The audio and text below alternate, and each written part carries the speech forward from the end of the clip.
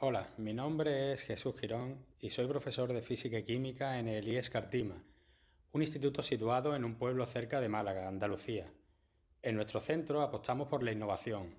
No en vano carecemos de libros de texto, trabajamos por proyectos y la enseñanza la realizamos a través de plataformas virtuales con ayuda de tabletas. Aunque actualmente me encuentro destinado en este instituto, la experiencia que voy a relatar la desarrollé en el IES Politécnico Jesús Marín, en clase Física y Química de tercero de ESO, y también en proyecto integrado de cuarto de ESO, con sendos grupos de alumnos de clase de socioeconómica media, de edades comprendidas entre los 14 y 16 años. Destacar que el Politécnico es un instituto de referencia para que acuda alumnado hipacúsico, por lo que en ambas clases tuve chicos y chicas con estas características. La propuesta didáctica que aquí presento para tratar algunos aspectos relacionados con la alimentación de los estudiantes del segundo ciclo de la ESO. Parte de la necesidad de que los estudiantes analicen y tomen conciencia de su propia alimentación como requisito necesario para intentar modificarla y mejorarla. La adolescencia es la edad en la que comienzan a decantarse de manera autónoma por la elección de grupos de alimentos frente a otros a experimentar cambios físicos en los que puede interferir una mala alimentación y a consumir ciertos productos influenciados por la publicidad que les llega. Estas son algunas de las razones por las que tenemos que dotar a los estudiantes de las herramientas necesarias para que sean capaces de tomar decisiones fundamentadas y aplicar a su vida cotidiana el espíritu crítico a su propia manera de alimentarse. Esta unidad se articula en torno a la pregunta ¿Estoy comiendo bien? En el aula se implementó utilizando una unidad web del mismo nombre, que se proyectaba para su seguimiento por parte del alumnado. Para dar respuesta a la pregunta anterior, vamos respondiendo a otras, de manera secuenciada, de tal forma que las respuestas a cada una de ellas contribuyen a la pregunta principal. De esta manera, planteamos al alumnado. ¿Por qué es importante saber si como bien? Donde tratamos los trastornos alimentarios y comparamos datos alimentarios del resto de la población. ¿Qué elijo para el desayuno? En la que realizamos un desayuno en clase. ¿Qué contienen los alimentos? A través de la cual estudiamos los principales nutrientes. ¿Estoy comiendo lo que quiero o lo que me venden? Que la aprovechamos para analizar la publicidad de los productos consumidos por los adolescentes. ¿Lo estoy haciendo bien? En la que analizamos dietas de personas famosas y las comparamos con la nuestra. ¿Qué puedo hacer para mejorar mi alimentación? mediante la cual sintetizamos lo aprendido en propuestas de mejora de la dieta. ¿Para qué me valen estos conocimientos? Dedicadas a las pruebas de evaluación. Las respuestas a estas preguntas son un vehículo adecuado para adquirir la competencia científica, más concretamente en lo que a la utilización de pruebas científicas se refiere. Son diversos los contenidos científicos necesarios para abordar la cuestión que se plantea en esta unidad. Los problemas y situaciones de la vida real, como son los relacionados con la alimentación, requieren de conocimientos que puedan provenir de diversas áreas de ciencia, como la biología, la química, etc. Introducimos la secuencia desde un punto de vista más biológico, a través del conocimiento de los trastornos alimentarios y el tratamiento de datos alimentarios de la población.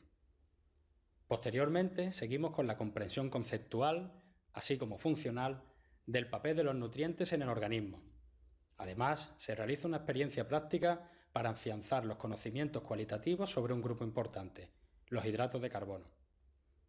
A continuación, tratamos contenidos más químicos, al presentar los alimentos como disoluciones y realizar cálculos sobre concentraciones de determinados nutrientes en productos alimentarios. Por último, de forma más transversal, utilizamos los conocimientos aprendidos para analizar críticamente un anuncio televisivo y diseñar una dieta saludable para el alumno.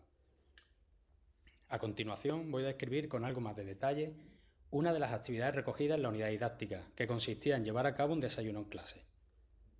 El objetivo de esta actividad es doble. En primer lugar, que pongan de manifiesto su hábito alimenticio en el desayuno, eligiendo libremente de entre los productos que se les presentan.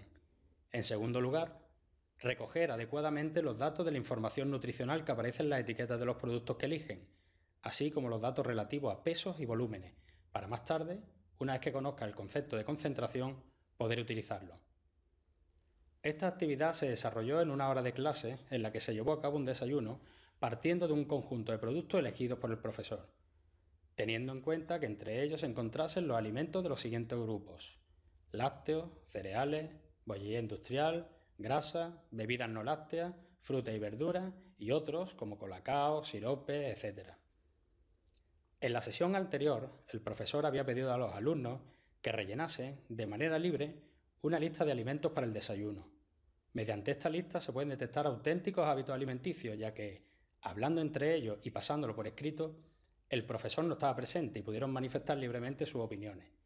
Es interesante leérsela para poder ejemplificar malos o buenos hábitos en la sesión. Para el desarrollo de la actividad se les entregó una ficha de trabajo, la cual tenían que completar de, de forma individual a la vez que desayunaban, tras una breve explicación del profesor. La actividad ha de desarrollarse en una clase lo suficientemente grande para montar un desayuno tipo buffet y organizar a los alumnos de forma que puedan acceder a los alimentos de una manera ordenada. Para pesar y medir volúmenes contaban con una balanza y con una probeta. El número de alimentos que podían elegir se limitó a cuatro. El desayuno se desarrolló con orden y de una manera satisfactoria. Los alumnos pudieron desayunar y completar las fichas, siendo una actividad dinámica, agradable y satisfactoria para ellos. El profesor debe estar muy pendiente a la cumplimentación de las fichas, ya que los alumnos suelen confundir ingredientes con composición nutricional, aun habiéndolo explicado detenidamente al inicio de la actividad. Anotaron datos que no eran necesarios y en alguna ocasión no pesaron adecuadamente. Por tanto, habría que hacer especial hincapié en la toma de datos y ejemplificar algunos de ellos para diferenciar bien los conceptos que confundieron. Desde el punto de vista docente, considero que la implementación de la unidad ha tenido éxito. No obstante, hay que tenerlo todo muy planificado y claro, ya que al carecer de libro de texto u otra guía distinta a la del propio docente, los alumnos pueden desconectarse al no encontrar el sentido y la asociación con la forma en la que habitualmente están acostumbrados a aprender. Han adquirido conocimiento de una manera integrada, aportado desde varias disciplinas científicas, y se han enfrentado a un problema con la combinación de las mismas, cosa que ocurre en la realidad cuando tenemos que resolver una situación determinada.